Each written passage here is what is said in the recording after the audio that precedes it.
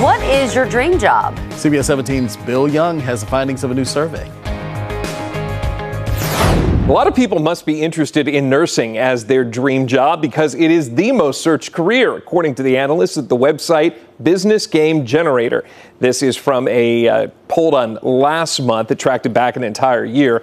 Nursing number one, nearly tied with therapists. Real estate agent number three on the list. Some are glamorous, like how to become an actor or job opportunities in modeling. Others more practical, like police or teacher.